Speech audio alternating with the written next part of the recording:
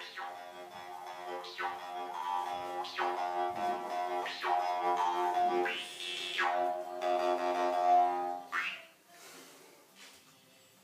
friends, this is MD Vegan and today I will prepare a corn soup and I found it pretty tricky to find really a good recipe that works and tastes delicious because corn, I don't know, it is something, has some, um, some um, qualities like a cereal but and it has um, very dense and is heavy, seems heavy. It is nice and special but in soups I didn't really find a way to make it really delicious without cooking it. Okay, I, I guess I found a way. And um, uh, my blender broke today, so I have my old blender. He's a little bit, he's not a power blender. He's, a, he's powerful too, but by far not that powerful. So I have to be a little more careful. First I will show you the ingredients in total. It is the first, the corn, frozen corn, you see. Frozen corn and some cashews. That's what I will blend first. Cashews will make it creamy together with avocado. This has to make it creamy too. And then, what goes very good with corn is bell pepper, I found. They love each other, I would say. And the, the, the nice flavor that adds the lime to the corn soup, you, you won't want to miss it. And some ginger to give it some hot, some heat cayenne of course, and chives. See for my garden. That's pretty much it. I will do that now. Beginning with the corn this, I have a uh, not that, that powerful blender. It is a good one. It is one for 100 bucks. And it has a glass container even. This is very good. My other one has a, uh, a plastic one. And um, so I will first, I will first just blend the corn and put the boiling water into over it. Just to get the corn really nice creamy.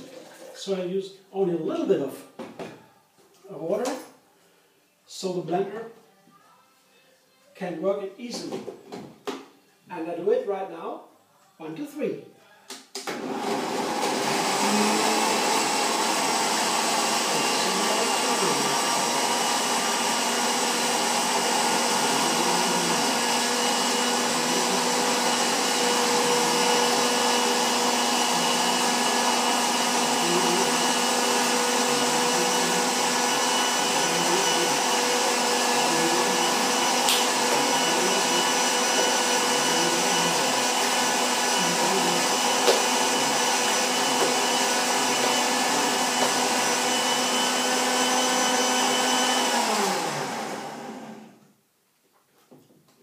Not as loud my blender, my new blender. And let's see if it has the right consistency. Yeah, it's okay. In such a blender, you won't get it that creamy, you know. But it is creamy enough. I will show you later. now I put the cashews in. I do it again. One incorporate blending is a little bit more tricky because they're not so powerful.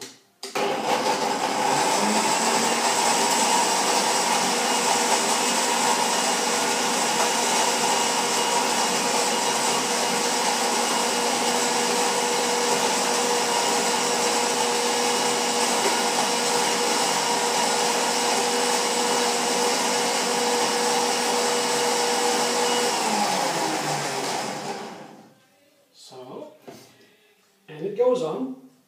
Next, bell pepper. You see I have a half a bell pepper. The rest of it is here, a nice big one. Comes into it. I cut it into small pieces. And now I give um, I add the avocado, the avocado, half of the avocado.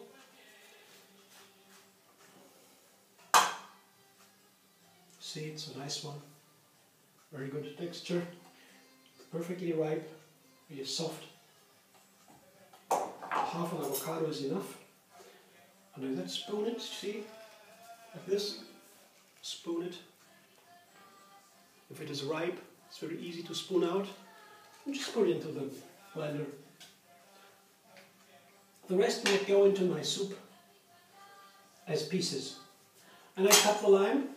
Oh, but first, before I cut it, I cut it, I will put some zest of the lime into the soup.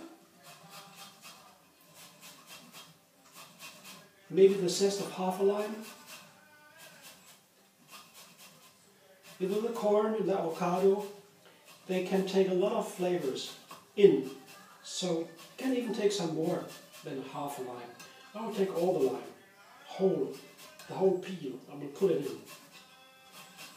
And um, without the avocado, you would do that without the avocado. You say, oh, um, the cashews, for example, they make it creamy enough. Then you would have too much of a lime. So if you don't take avocado in here, which I highly recommend to do, then um, you cannot take that much of lime. So see, this is the grated lime, most of it. The rest I cut of the peel of the way so we can reach. Cut the rest. The peel has to go, all of it, otherwise it will determine the bitterness of the certain bitterness in the flavor of the soup and I don't need that in the corn soup. Corn soup has to be sweet, not tangy. As far as I can see this the situation. So the lime. See, whole lime, small one. A little bit of ginger, ginger root. Corn and ginger is perfect together. I wanted to grate it. I forgot. I use I usually take a whole ginger, but here I have a ginger grater, and that is easier for the blender. Make it as easy as possible to get the creamy consistency of my soup. So maybe a, a centimeter of a finger of a ginger root. So what else? Yeah, the chives. See, handful of chives. Smaller pieces, just fold it a couple of times, then you cut it very economic. It's always important to apply economy of motions in the work because otherwise you lose time, energy, or form. Some cayenne pepper. See, this isn't dangerous now. This is the quantity, it's almost too much.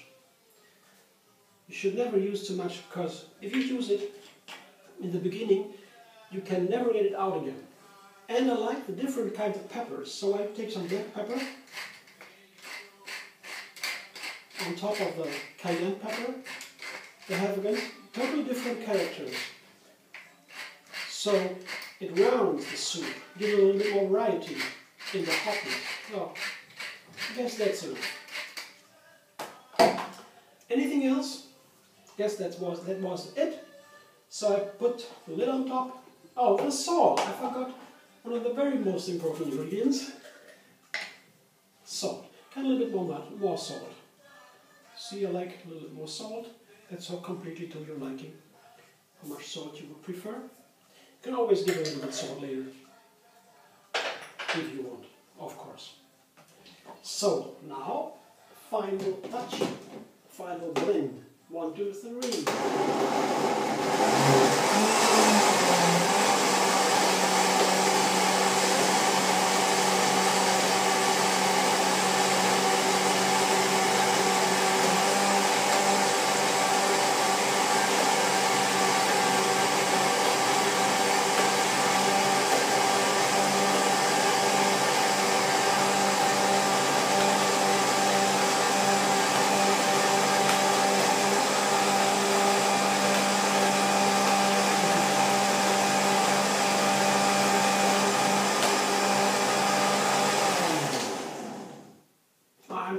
Now.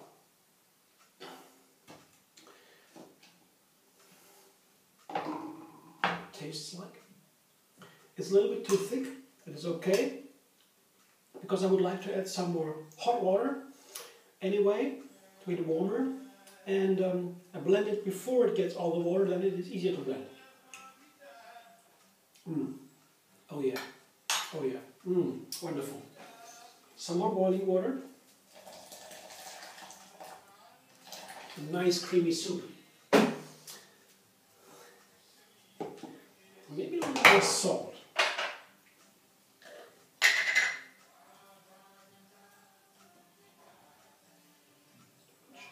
Mm, already taste the lime. It's a wonderful recipe. I tried it before. and um, I tried it before without avocado.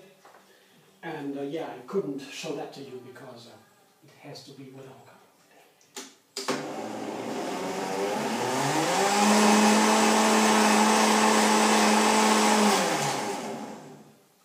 Now let's see. We have here. Yeah. Mm. Never use the same spoon twice unwashed.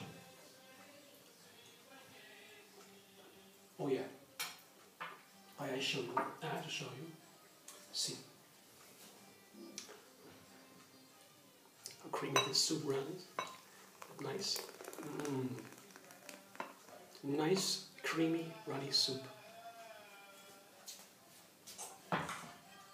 On top, I show you could put the avocado with a knife. You could cut it inside. One, two, three, crosswise, like you do with a mango. And then you turn around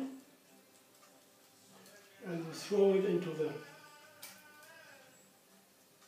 the soup.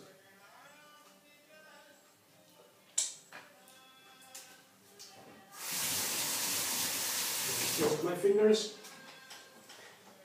And here I show you, wait a minute,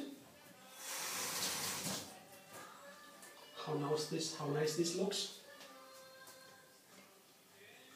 See, some pieces of avocado.